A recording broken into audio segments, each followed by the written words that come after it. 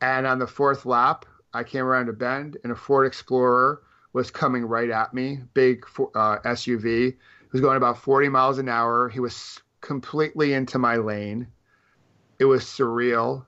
I had no reaction time. And then I remember the sound of me hitting his grill and then getting tossed up and into his windshield. That sound where it like smashed into the windshield. And then the screech of his brakes. And then the thud I made as I came to the asphalt below. And of course, as one would imagine, that that knocked me unconscious. And then I realized, well, you know what? I was lucky. Like. I I could have died, right? I, it, the accident could have been worse. I could have ended up being a, a paraplegic, a quadriplegic. Yeah. I could have had a traumatic brain injury. I could have had uh, like it could have been so much worse. It's then, totally different. They've they've brought gamification to indoor cycling. So yeah. I'm on something that uses like real gears, but it connects through Bluetooth to a computer called Zwift. And so you, you'll love, you guys will love it because I, I get to ride the, the world championship course in London. No way. Yeah, yeah. Well, yeah. They're like, yeah, he's an old guy. Yeah. He's like one of guys. You know, like he uh. probably rides a bunch of steel bikes, and the answer to that yeah. is yes. I, I even thought I was going to become a professional bowler, right? Because growing up in Rochester, New York, where it's all cold, you uh, play hockey, and in the wintertime you go bowling. And I was like, I'm going to become a, become a professional bowler, and I own personalized bowling balls and my own personalized personalized bowling shirts, and like I was totally into it.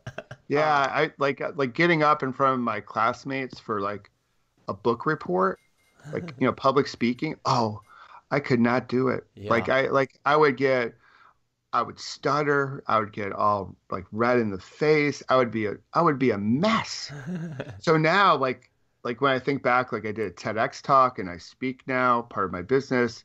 I'm like, wow, what a transformation. But back then, and that was all the judgment piece. Like, what are people saying about me, right? Yeah. And and but I think it's very common. You know, if you're you know in seventh grade or tenth grade, if you're a teenager, you're worried about these things. You're just trying to survive high school. I got my first sales job when I left uh, university in Virginia. I moved to Washington D.C. and I started selling copiers and facsimiles. If we, you know. some of your listeners might remember the day of the facsimile. Now we don't like, what's that? Yeah, right? What's exactly. a fax machine? So, and I used to sell the facsimiles with the curly paper, yeah. right? So that's that's how old I am, not the plain, not the nice paper now. And I hit the green button to print, and it gets stuck.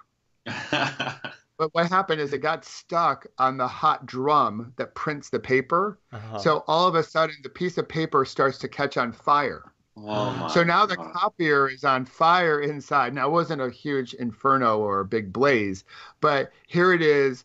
The the paper is on fire. It's smoldering. You can smell it, right? And I'm trying to get in there to oh. pat it down. And now I'm getting all the toner cartridge ink all over oh, my hands.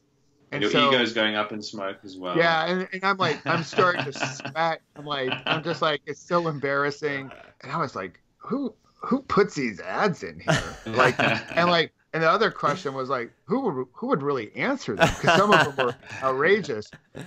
And I got to a point where I was like, well, all my friends had you know dates and girlfriends and stuff like that or boyfriends, and I was like, you know what? I'm gonna try this out. Like, I can put an ad in and no one would know it was me. so I got really curious and I decided to put a ad in the paper